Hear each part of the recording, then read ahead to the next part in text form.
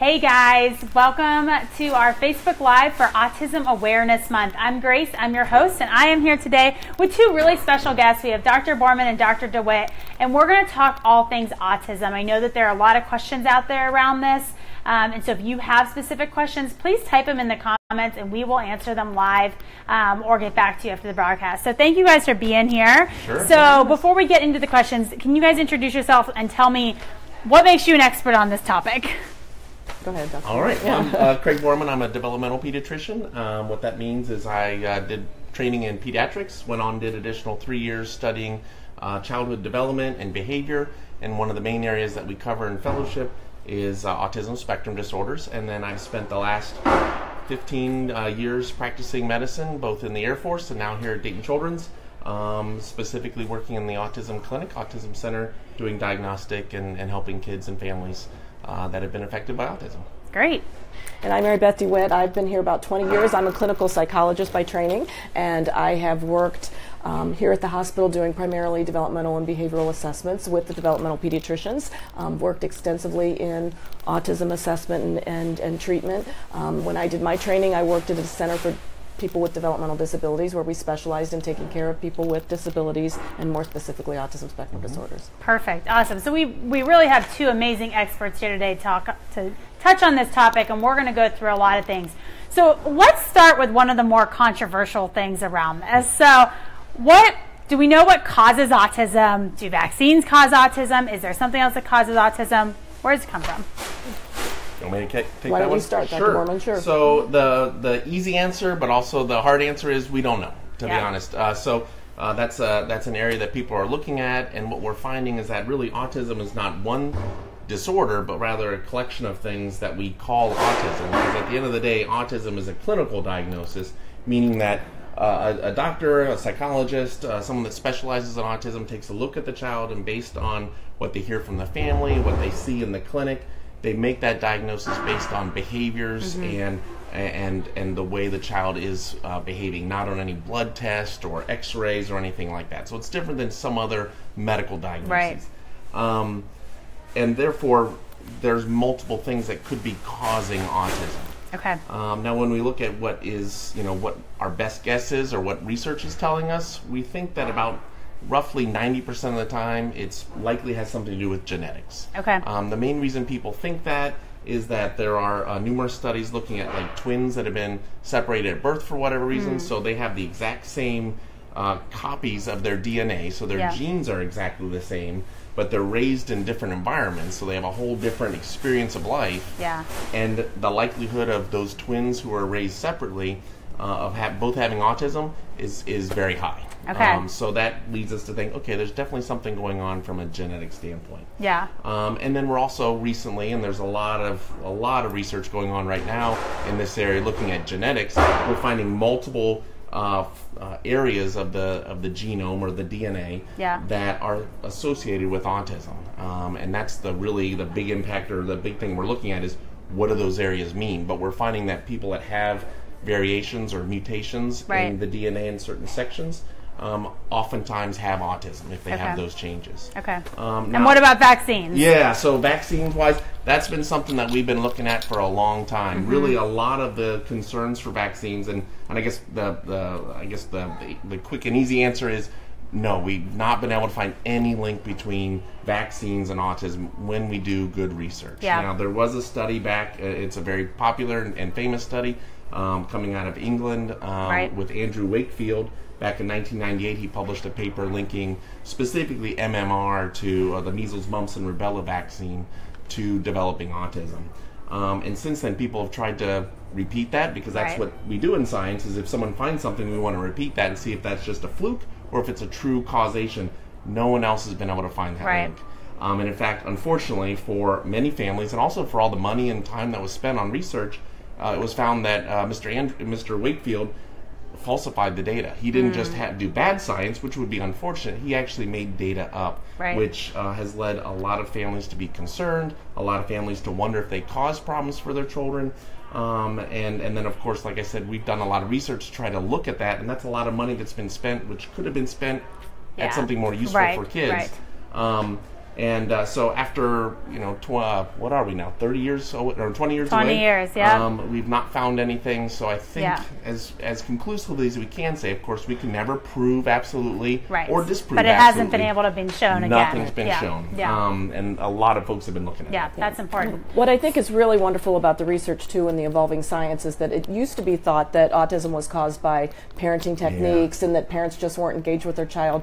But since then, we've learned that that didn't contribute at all. It's something neurochemically, neurodevelopmentally um, involved that we don't fully understand. But we know it's nothing the parents have done wrong. And truly, the parents that we work with are some of the most amazing parents I've ever met in my Yeah, I life. So- think that's a really important distinction. So we did get a question um, from Laura Beth, who's watching. Thanks for watching, Laura Beth. So the question is, my four-year-old is nonverbal, but now saying all her ABCs and saying words.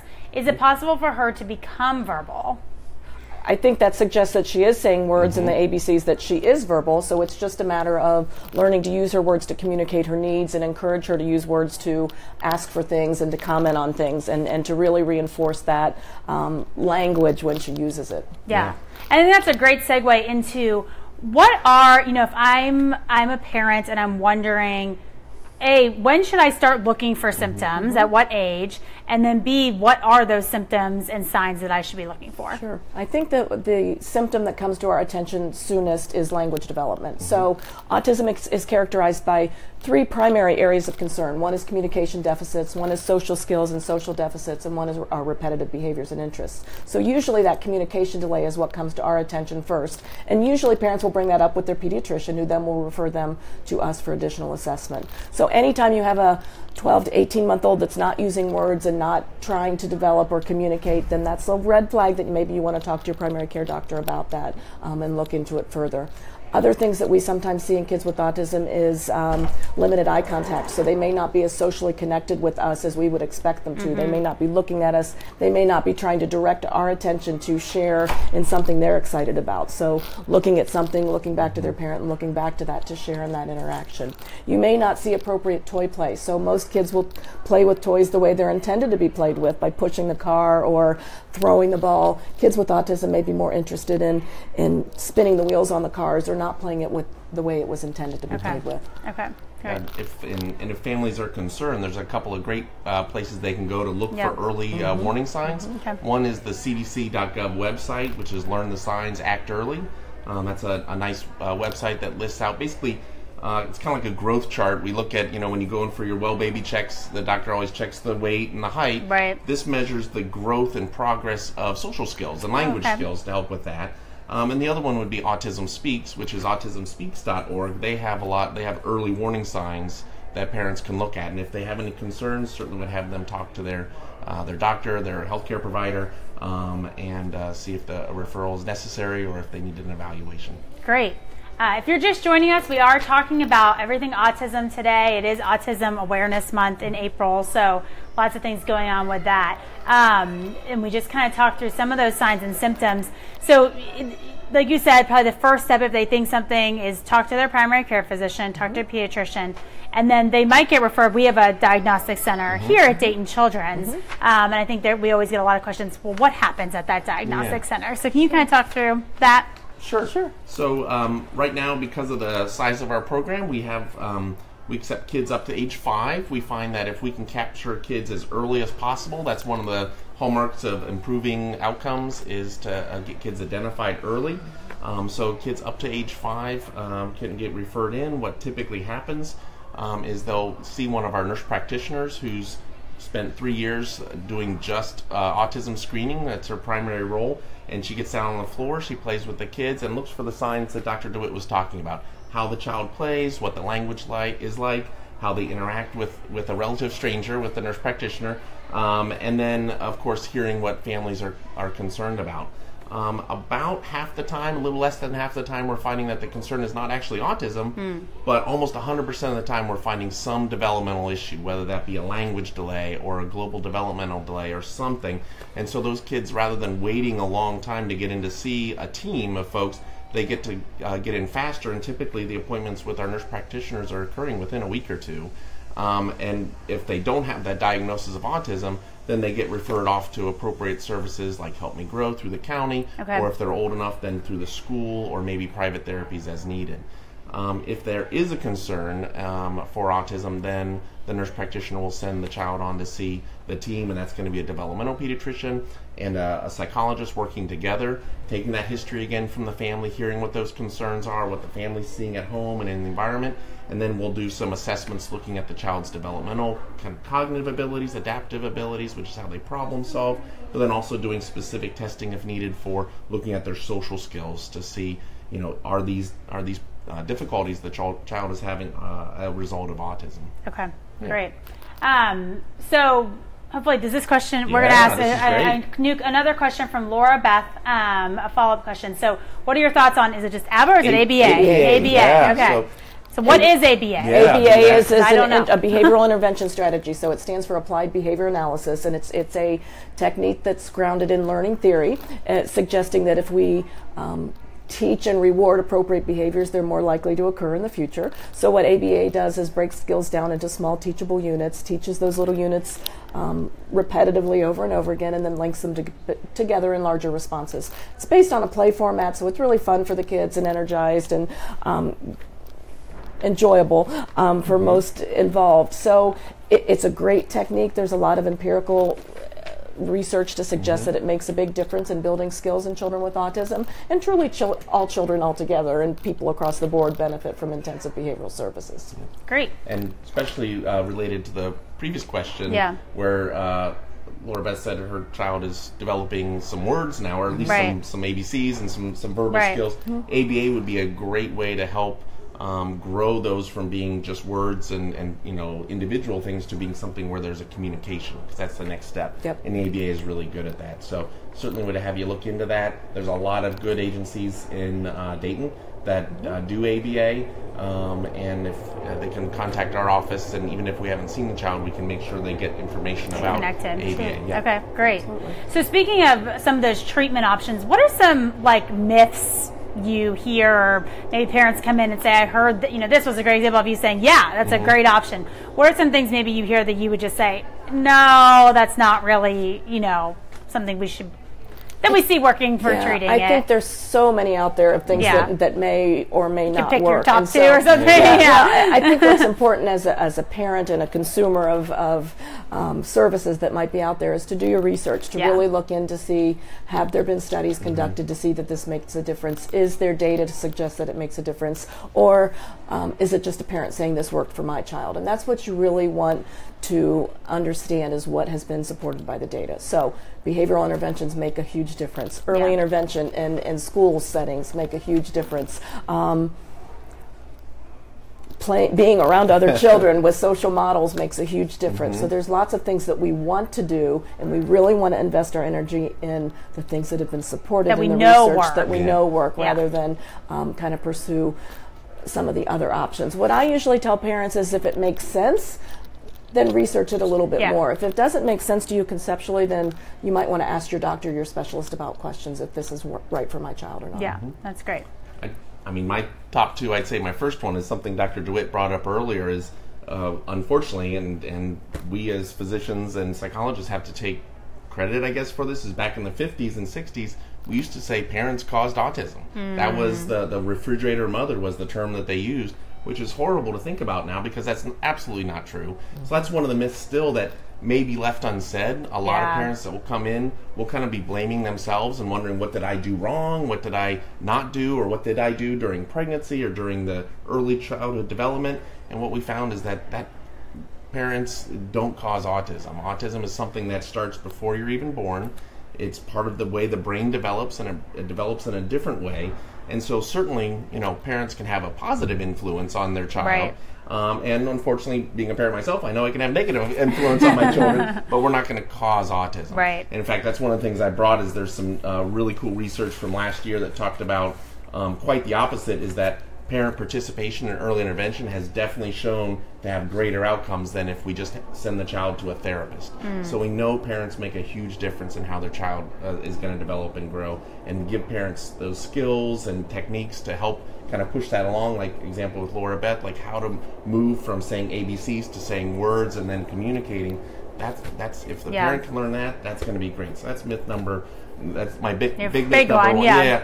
And then the other one is is kind of a, a catch-all of just um, things that we don't know. So like uh, food diet changes, um, the uh, using different vitamins or restricted diets and things like that. We don't have evidence to show that works, but honestly, we don't have evidence to show it doesn't, Doesn't, work. right. In my own practice, I've seen both sides of the of the story happen. I've seen uh, uh, gluten's a big example Right. that's oftentimes Yes. uh, utilized uh, to treat to treat uh, symptoms of autism. I, I've seen majority of the time when families try that, they either are unable to keep the diet or they've tried it and nothing changes at all. Um, I've seen a few instances though where families have changed that diet and there's been a big change great. in the behavior. Now, was that from the change in the behavior, the diet itself? Was it because the family was paying a lot more attention to the child because they needed to do this special diet? Was there other things? Because usually other therapies were going on. I don't know, but the family was happy with it and they went for it. So, generally speaking, and like Dr. DeWitt was saying, you want to do your research. But the other thing that I talk about is with, with families is one, make sure it's safe and not going to harm the child. There are some things out there that are actually harmful, and if you don't know that it works, I wouldn't do it. Yeah. Um, that's that's that's uh, going down a dangerous path. Right. Secondly, is to consider the costs, um, not just the monetary costs, but the time and energy as well. We only have a certain amount of time and energy during the day, and if you're a parent, you know you have very limited energy after all the stuff you have to do, and if you have a child with disabilities, you know you even have less energy. So Yeah. make sure you're you're uh, prioritizing those appropriately. And, and saying, is this worth my effort? Is this worth the energy? Is this worth the time? Because if I do this, then I won't have time to do something else. So, like Right. for example, if I go and do a special um, uh, diet therapy and I can't do ABA because of that, I would say you probably need to be thinking about ABA because we know that works. No, it works. Yeah. Yeah. yeah, that's great. So let's talk a little bit about the spectrum. I mean, we hear autism spectrum disorder, and like you were saying earlier, it really is kind of this Mm-hmm. wide range. So, what you know, what is that spectrum? What are we seeing from one end to the other in in kids? I, there's so much variability because our development, um, there's so many different domains of our development. We have how we learn, how we think, how we speak, how we adapt to our environment. So there's lots of variation on all of those areas, and every individual varies along all of those areas. So that's what contributes to the spectrum. Additionally, kids will vary on the severity of their symptoms, and so that's how we help identify the spectrum. Some kids are very mildly affected, so they may be okay in social environments and be comfortable in them. Others may be less comfortable and may have difficulty in, and meltdowns or tantrums when they're in different social environments. So we as professionals have to work with the families to determine what their strengths and weaknesses are and how we can help meet those needs that they have across Yeah. that spectrum of, of symptoms. Okay, that's great. Um, how if you know if we have people watching that don't have a child with autism, they just want to know more about this, but maybe they have a child who doesn't have autism, and maybe they have a classmate that has autism, or a cousin, or a neighbor, or whatever. How can um, parents talk to their kids about interacting with a child with autism? Yeah, I think conversations about diversity and differences in our world are, are so important to have regardless. We all are individuals, and that was, that's what makes the world a wonderful place to be. And so we want to have those conversations with our kids, regardless of if they have a disability or not. Um, and that helps uh, our children learn that it's okay to accept. We should accept. We should mm-hmm. embrace change. We should embrace difference and accept people for who they are, regardless of if their hair color is different, if they have autism, or if they have some other disability. Mm-hmm. Yeah.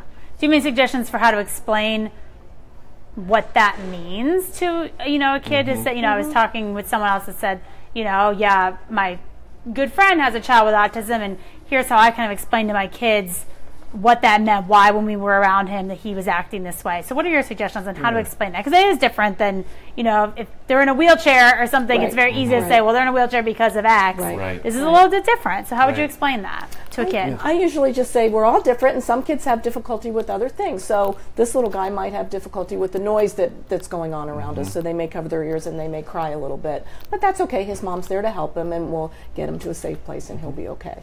Um, Yeah. and so I just really try to look at the symptoms that they're having, and just again explain that we're all different. We all have our strengths and weaknesses, and, and we just have to embrace them and accept them. Yeah. It makes it a difficult question too because kids are all different and, They are. like some have the real uh, uh, high sensory needs and so the, the you know the, the the friend may be asking why why does the child wear a you know headset or but other times it may be that they're not playing with anybody and so one thing that you can ask or I think a parent of a child without autism if they have someone in their class or whatever can talk about is you know, if you see Johnny over there and, and might want to check with the teacher or the parent of the child first to make sure, is it okay to approach and ask? Because that child may not know how to engage. Right. But that's actually another myth of autism is that kids with autism, this is the myth, don't have feelings and don't want to engage. They they don't they they, they don't have that drive that we have. Um, they don't often express feelings in some cases, but they absolutely have feelings. Of Right. course they do. Yeah. Right. Um, and so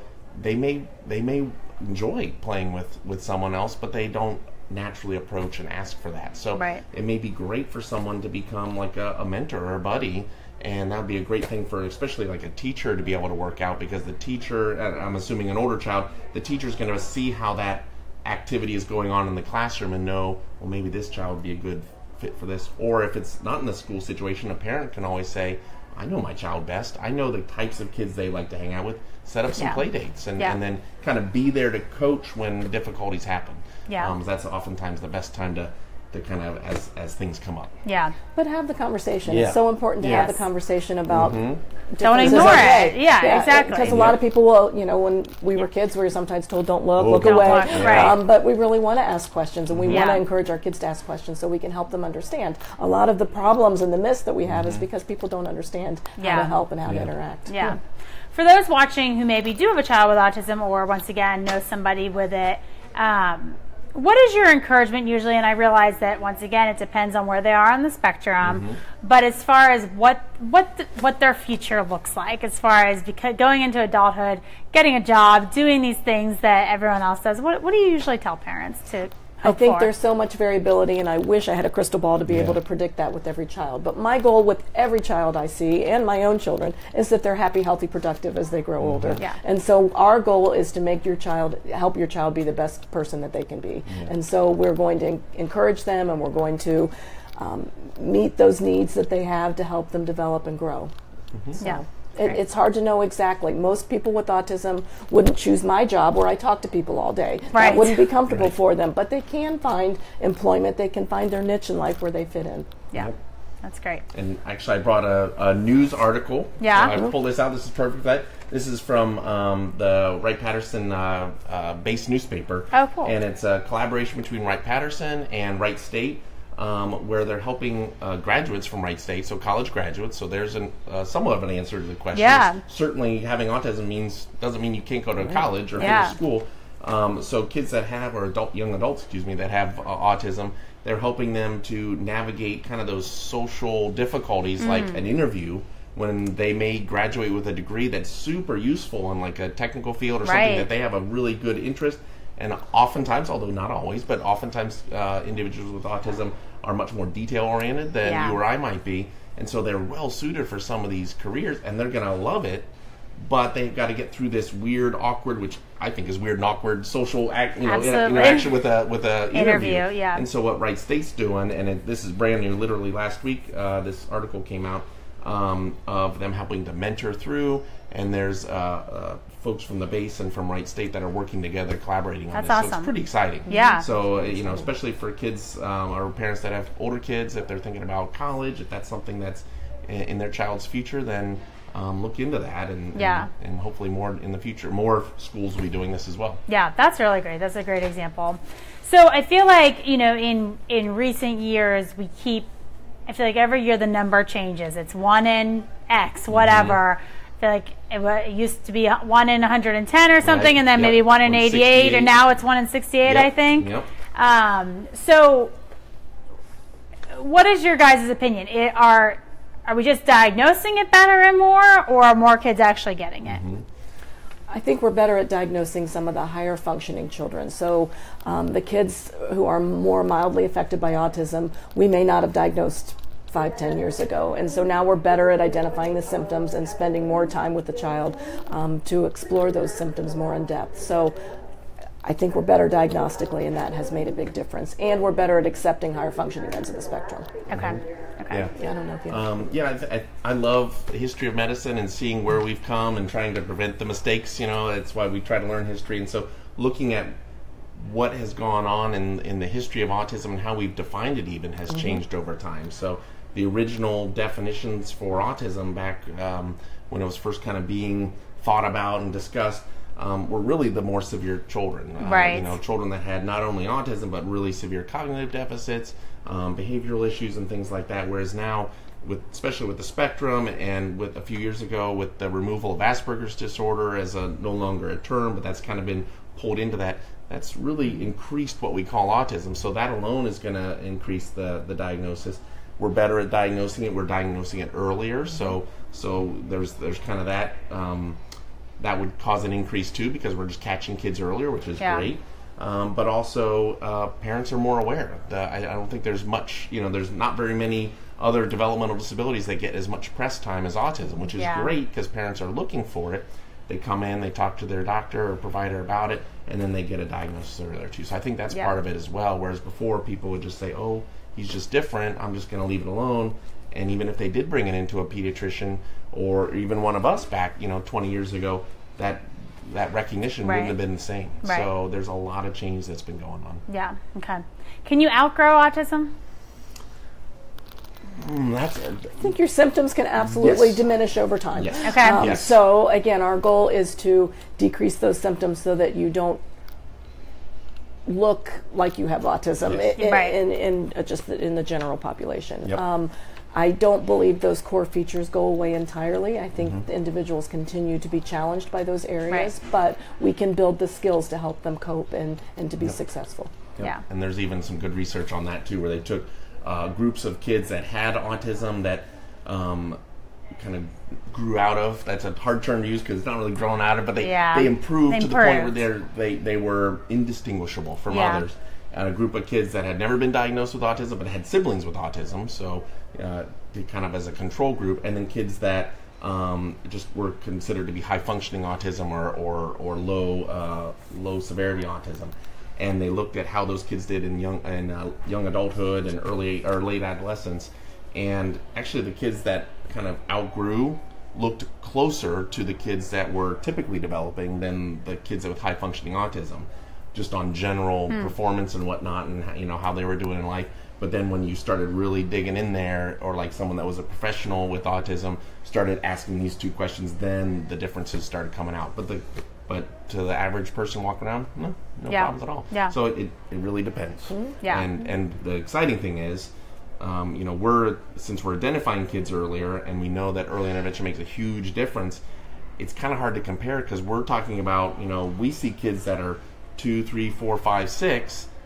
20 years from now, they're going to be young adults. So Right. the kids that are young adults now, those kids were young 20 years ago when we didn't do early Didn't do it. much. So it's hard to know what's gonna Exactly. what it's gonna be. So, yeah. but thankfully, the future's brighter than Yeah. than it was before mm-hmm. because we we know more now. Yeah, that's great. Is there any other kind of new research in this field around autism that you think is important to note? Yeah, I, I brought a list because Oh, good. this is actually I'll, I'll give credit where credit is due. This is from Autism Speaks. I mentioned it before. AutismSpeaks.org.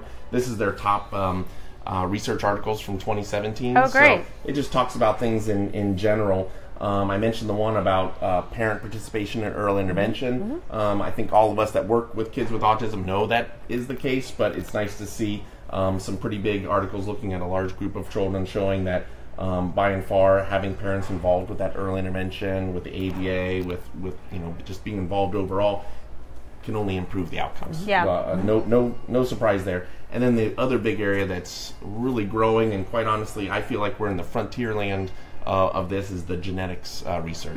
So I mentioned before that we're finding a lot of different areas on the in the DNA um, that are associated with autism, and now the big task for researchers is to say. What does that gene do? Why does mm-hmm. that lead to the symptoms that we cause au- that we call autism? Um, and so that's kind of exciting because there's potential in that to find an actual treatment. Mm-hmm. Yeah. Right now, all of our treatment is therapy and helping with symptoms. Yeah. But there's a potential at some point down the road, and that's what I'm hoping to see. Yeah. Is that we'll be able to say, oh, this gene led to this protein that doesn't work anymore. If we can just modify the gene, or if we can replace that protein, Yeah. will we see some drastic improvements? Yeah. Um, And perhaps then tailor the treatments more Yeah. specifically. So if there's different markers, then we may provide different treatments based Yeah. on that genetic marker. Yeah. So- That's great. So there's a bunch there, but it's still very, very new and very kind of foundational work. Yeah. that's going on. So our understanding is only going to get better, but it's Yeah. early on and it's not happening fast enough. Yeah. And I'm sure so since there parents is a lot of that research around the around the genetics around Yeah. this, do most kids, and I don't know if it's most or just some, how I guess I should say, how often are kids um, they maybe get a diagnosis of autism, seeing a genetic counselor Mm-hmm. and having that So tested? here at here at Dayton Children's, and I'm pretty sure this is pretty consistent amongst Yeah. any children's hospital that has an autism clinic or, or, or works with kids with autism, we recommend it to every family. Okay. That's a recommendation from the American College of Medical Genetics, from the American Academy of Pediatrics, is that all children with a diagnosis of autism should have genetic testing done. Now they may not have to meet with a geneticist, but we should get the kind of Okay. initial test done. Okay. Um, and then, of course, there's always because there's so much research going on. There's always research looking at you know if there is a finding, or even if the family say couldn't uh, afford or, or their insurance doesn't cover the cost of that genetic testing, they can go and get uh, that done, perhaps at a It's like a clinical study or something Yep. like that. Yeah, Yep, that's as long as it's done at a reputable place, fantastic. I- Yeah. you know, I encourage families to do that. Um, but of course, that's an individual decision. Right, right. Great. Well, is there anything else that you guys want to touch on that I didn't think to ask you today about this topic? I think this was really good conversation. No. So, is this list of research articles you got that on Autism got that Speaks from website? Autism So maybe you can send me that and we could share that in the comments. Yep, So if people are interested in reading Yeah, more about that. There's more so that I didn't mention in here Yeah. there's a ton going on. That's great. Um, and then of course, Autism Speaks has a. No, I'll, I'll shout Yeah. out to them. They're a nonprofit, so Yeah, obviously absolutely. not. Uh, no They're a partner- yeah, we love yeah, them, yeah, they're, yeah, they're good so- stuff. Families, uh, there's a lot of good information for families. It's really meant for families, although I use it all the time to get information too. Yeah. Um, there's toolkits on there for families that have had a recent diagnosis. There's toolkits ranging from what is ABA to uh, so that might help. Uh, uh, the question from earlier, Mm-hmm. and then um, from Laura Beth, and then also there's things on like toilet training or school or decisions about Yeah. medications or all sorts of Okay, things. great. Well, Great we'll include a link to the research articles and you can check that out. So, thank you guys for tuning in. Um, like I said, it is Autism Awareness Month, so we're so glad to be able to have you guys on to talk about this. I'll also put in a plug this week. Um, you can head over to Panera and buy one of the Autism Puzzle Piece cookies. And uh, in our local Panera, that money comes back to support the Diagnostic Center and to, to help these kids have more resources. So, please go buy a cookie and They're support. They are Yeah. very, very good. So that's through um, the end of this week, I think, into the weekend. So, and if you do get one, we would love to see pictures of you guys eating it. So, thanks so much for tuning in. Have a good night, guys. Bye.